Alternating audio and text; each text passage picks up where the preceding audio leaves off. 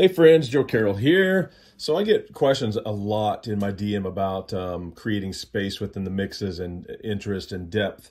And one way that I do that, you know, a lot of times we use multiple delays on vocals, right?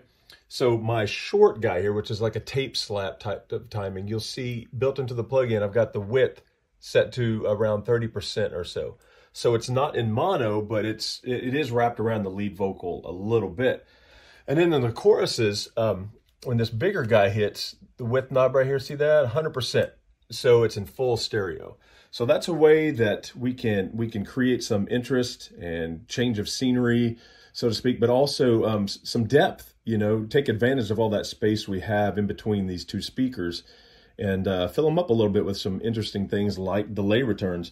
Um, also, I should say this is one of my very favorite uh, delays that you can get. It's the McDSP EC300, and I have made a batch of presets for it. You know, they have like seven and a half, 15 IPS, 30 IPS, various things, even the Bob Clearmountain dancing uh, uh, David Bowie guitar thing. And they're uh, available on my website as a free download. So just go to the cool stuff tabs on my on my uh, website and download the presets for this in VST, AAX, and um, AU. Happy mixing.